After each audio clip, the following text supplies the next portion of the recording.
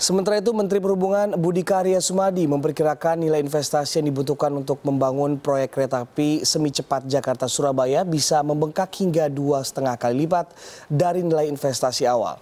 Dikutip cnnindonesia.com, Budi Karya menyebut kenaikan nilai investasi bisa terjadi jika ada perubahan pembelian gerbong kereta, rel lintas kereta, dan pemanfaatan teknologi yang digunakan.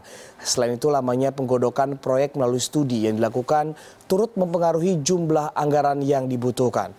Nilai investasi awal proyek ini sekitar 60 triliun rupiah, namun jika membengkak dua setengah kali lipat, anggarannya bisa menyentuh angka 150 triliun rupiah. Saat ini pembahasan tentang proyek kereta berkecepatan sekitar 145 hingga 160 km per jam ini dengan waktu tempuh sekitar 5,5 jam masih terus difinalisasi oleh pemerintah.